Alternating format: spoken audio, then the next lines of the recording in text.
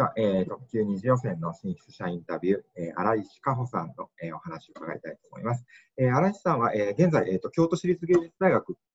の音楽学部、えー、ピアノ専攻の3年生、3回っていうのかな、はい、で、えー、いらっしゃって、えーと、ピアノの方はね、あのちょっと広く遡ってみましたら、2005年の A2 級から、本当に、ほとんど毎年のようにね、あの、ジュニア G 級とか G 級なんかも含めて受けてくださっていて、えっ、ー、と、2017年に G 級を受けて以来の、えー、挑戦ということになると思います。今日はよろしくお願いします。お願いします。はい。えっ、ー、と、2017年に多分 G 級を受けてくださった後に、まあ、ちょっとだけ空いて、あの、今年、はい、えー、まあ、実施特急に参加してくださったんですが、まず今年、あの、このタイミングで特急に参加してくださった理由というか、きっかけを教えていただきと5歳の時に初めてピティナを受けてから、ほぼ全ての級に挑戦していく中で、特急への憧れが夢から目標へと変わっていきました。そして特急ではたくさんの曲を演奏できることに魅力を感じています。4期の作品を並行して勉強していくことによって得意な分野だけではなくて苦手意識のある作品にも積極的に向き合うことができました。また、今年はコロナの影響で不安な日々が続いていますが、こんな時だからこそ皆様に音楽を届けたいと思い、今回特急に挑戦することに決意しました。ありがとうございます。めっちゃ準備してくれてある感じがして、とてもありがたいというか、お人柄が出ているというか、微笑ましいんですが、ありがとうございます。はい。えっと、プロフィールなんかね、あの、拝見したりすると、私は、あの、個人的には2014年だったかな、ジュニア G 級にもね、あの、出てくださった時から存じ上げてるんですけれども、去年、2019年にね、えっと、シゲル河合国際ピアノコンクールだったりとか、まあ、マスカトホールのね、音楽賞の奨励賞だったりとか、まあ、一つ大学に入って、あの、なんていうのかな、ちょっと飛躍の年だったというか、あの、いろんなことがしっくりき始めた年だったのかなと勝手に、あの、推察したんですけれども、あの、去年のそういうコンクールに出たりとか、ステージに立ったりっていうことで、どういう経験を得ましたか？去年のシゲルカワイコンクールでは、たくさんの方が聞きに来てくださって、その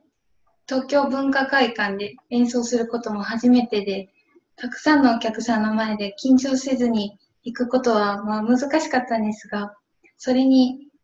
を経験することで、少しはそのお客様に向けて演奏するということを勉強になったなと思っています。うん、たあのたくさんの曲を特急より少し少なかったんですが、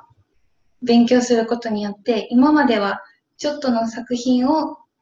長い時間かけてやるっていう感じだったんですけど、それを短時間で並行して勉強するっていうきっかけになりました。なるほど。ね、あの、すごく最後、ね、ファイナルは聞かせていただきましたけど、とっても立派な演奏をね、されては、ありがとうございます。なと、あの、と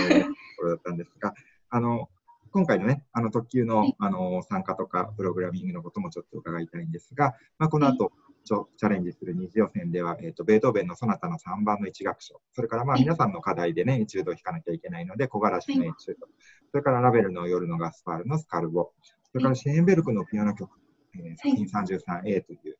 え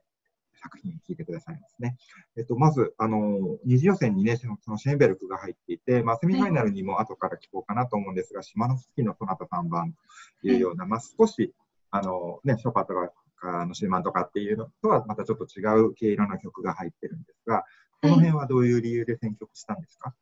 シェーンベルクは、うん、以前学校の課題であって、それで初めて知って勉強を始めた曲なんですけど、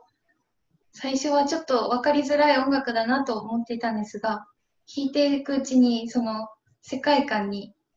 はまっていって、また演奏したいなと思って選曲しました。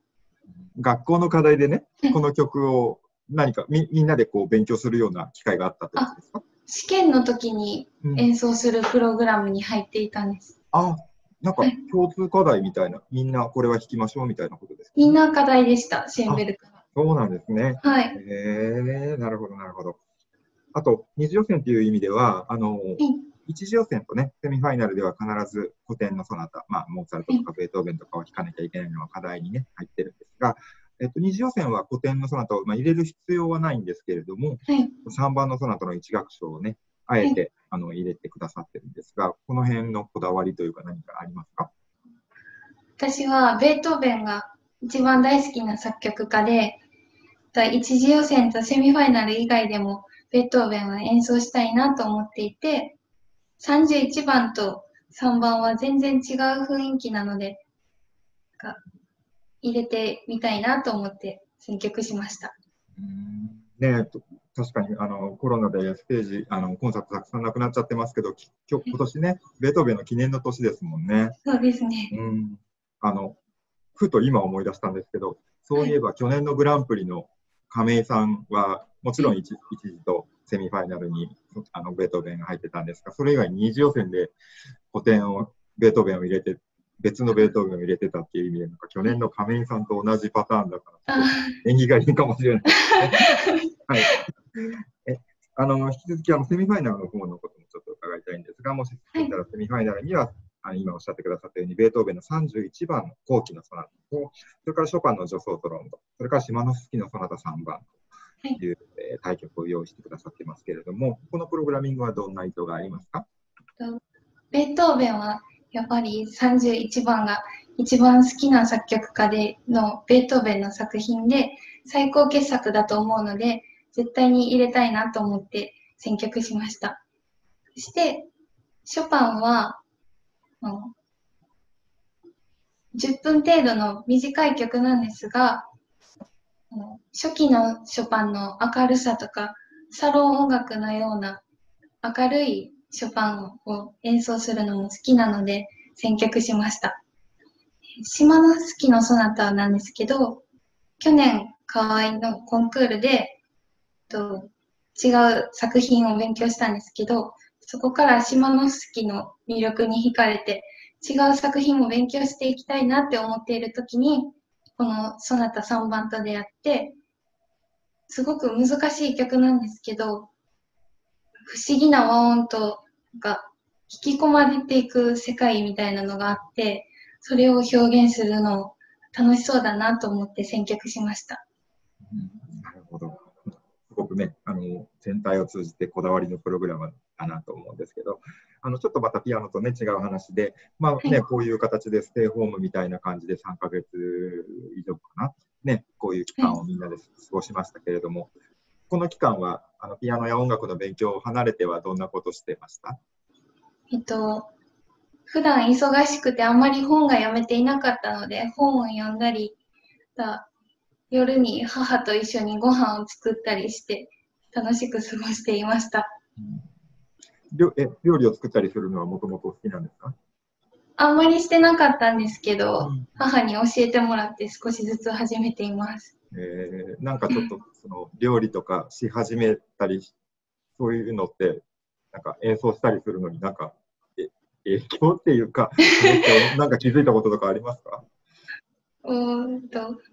味付けとかは少しちょっと砂糖を入れるので、だいぶ変わったりするように、演奏も少しの気づきで、だいぶ全体が変わることもあるなというところには気づきました。なるほど。あと他になんか趣味とかリラックス法とかあるんですか？リラックス法は、夜にゆっくり電気を消して、一人で考える時間がリラックスできるなと思います。はい。なるほど。じゃあ、えっ、と、最後に、あの、二次予選今回ライブ配信するということで、まあ、はいあのお客様を、お客、客席の中に入れることはできないんですが、あの、画面越しにね、たくさんの方に聞いていただきたいなと思いますので、あの、聞いてくださる方にあのメッセージというか意気込みをお願いできますか？はい。と、二次予選で4つの異なる時代の曲を演奏するのですが、絵を描くように作品にストーリーをつけて、一音一音大切に毎日練習をしています。刻一刻と本番が迫っていく中で、緊張の毎日ではあるのですが、小さい頃から大好きだったピアノを会場で心から楽しんで演奏していきたいと思っています。また、特急の会場で演奏することを叶えてくださったピティナの関係者の方々や聴いていただける方々に感謝の気持ちを込めて楽しんでいただけるように演奏したいと思っています。お願いします。はい、ありがとうございます。二次予選楽しみにしてます。では、えー、以上になります。ありがとうございました。ありがとうございました。